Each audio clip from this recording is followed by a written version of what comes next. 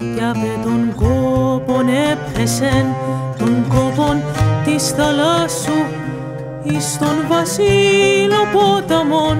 απόφαν και κοιμήθην είδεν παιδί ονόμνωστον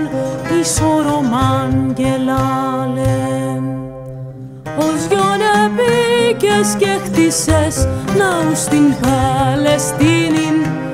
ήτσου να πείσεις και